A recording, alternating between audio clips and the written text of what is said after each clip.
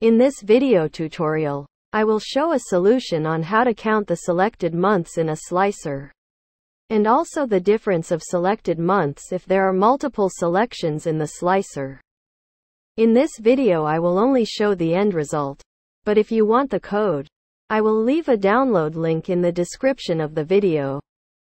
If you like this video and want more videos like this, please subscribe to my channel.